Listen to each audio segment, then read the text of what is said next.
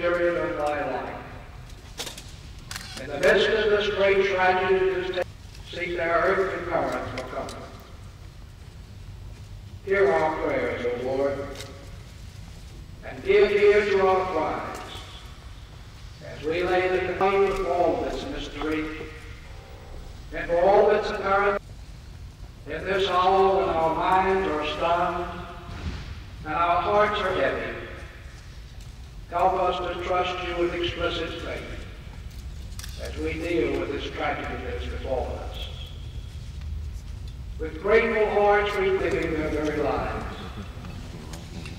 we give thee thanks for each of them and for the contribution to peace that each made. Especially now we lift up to thee the families and the loved ones of these who died and administrations. These are our prayers we ask in thy holy name. Amen.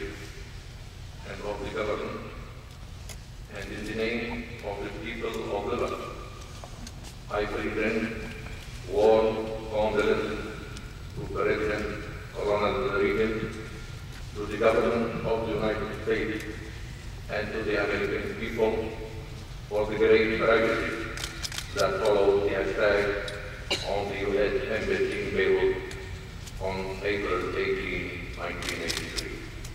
Thousand sacrifice. The ideal represented by your nation, all friends, whom we mourn and honor today, rest in peace. their lives and service to their country.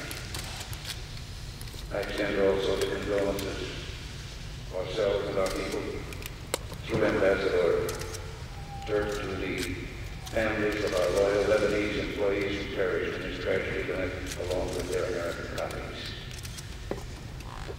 You here today, the families of these honored dead, I want you to know when I speak, you must feel at the same time pride. Pride in their dedication. And we, your fellow citizens, share in that also. We the peacemakers, and they truly were peacemakers. They traveled was hard and peril. They brought that iron monument to their memory, be a preservation of that America. Let us here in their presence